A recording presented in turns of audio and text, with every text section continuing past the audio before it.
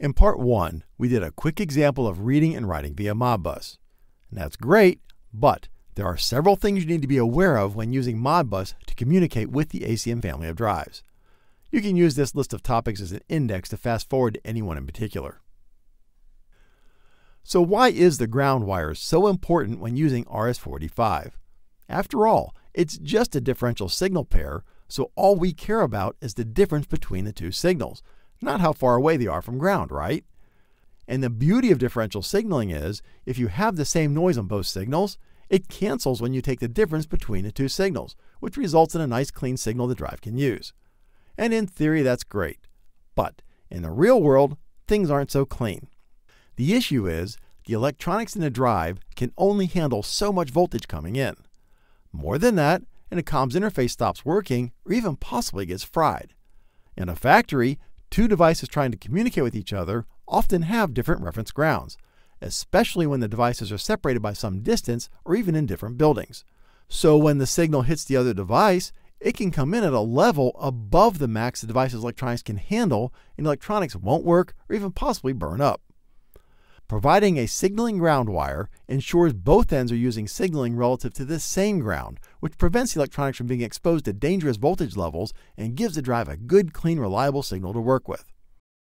You'll save yourself a lot of headaches and frustration if you use a good low capacitance cable that's rated for signaling. I use this cable from AutomationDirect, which is specifically designed for data communications. But did you notice it's a four wire cable? We only need one pair of signal wires and a ground. So why did I use a four-wire cable? Well, it's easier to keep a four-wire cable in stock because it can be used for so many other purposes, and it's basically the same cost as a three-wire cable. I only used one of the spare wires for the ground wire here in my office, but you could certainly use both extra wires to give you an even better ground path, especially over long runs. And while we're on the subject, make sure you connect the shield to the chassis or earth ground at one end only. Why? Because if you ground both ends, you now have a closed circuit which allows current to flow. So when other nearby or electromagnetic noise sources impose magnetic fields on the shield, it creates current flow. The current flow in the shield then creates a magnetic field inside the cable, which creates extra current flow in your data wires, which adds noise to your data signals. If you leave one end of the shield disconnected, then you have an open circuit, so current can't flow down the shield and create that interference inside the cable. The ACN drive provides a convenient chassis ground right here. Now, why did we use 9600 baud in the previous video? Because slower baud rates give you better noise immunity. So in a noisy environment like a factory, always use the lowest baud rate you can get away with. It'll save you a lot of headaches later on. And of course, when setting up your 485 network, be sure to add a termination resistor at the end. That prevents energy from being reflected back up the cable and messing with your signals. On the ACN drive, you can enable a termination resistor using this guy right here tucked up under the cover. This handy diagram also shows the location. You can use digital outputs to signal when comms have been lost. That can be real handy when you're trying to debug issues or just want to give your controller some feedback that comms are working. On the base drive, you would set either the output relay to a 13 or the digital output to a 13. The output will change when there's a loss of command from the RS-45 comms. How does the drive sense loss of Modbus commands? And if it's lost comms, what should the drive do? Easy. Just set up your controller or PLC to send commands via Modbus RTU on a periodic basis. Maybe poll a set of parameters you want to monitor on a regular interval.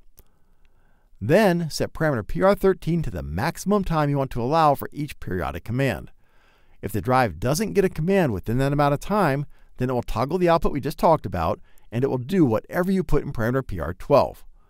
You can tell the drive to do nothing, free spin down, use normal deceleration, keep running at the last known input, keep running at the last known output level, or go to the frequency you specify in parameter PR14. Did you notice in the previous video that Modbus TCP and Ethernet IP use different addressing than Modbus RTU? So be careful if you ever decide to switch to Ethernet comms. You'll have to add one to each address for everything to work. If you're writing a group of parameters that includes the drive frequency, make sure you also specify the corresponding RPM. If you forget to update the RPM, then when this group is written, the RPM parameter will overwrite the frequency. So make sure they're the same when sending a group of parameters that contains either. As a reminder, to calculate RPM, just take the frequency, multiply by 60 to convert it to minutes, times 2 for the positive and negative pulses, and divide by the number of poles. For example, 30 Hz on a 4-pole 1800 RPM motor is 900 RPM, exactly what we expect. In the previous video, we used an edge-triggered contact to issue the group read.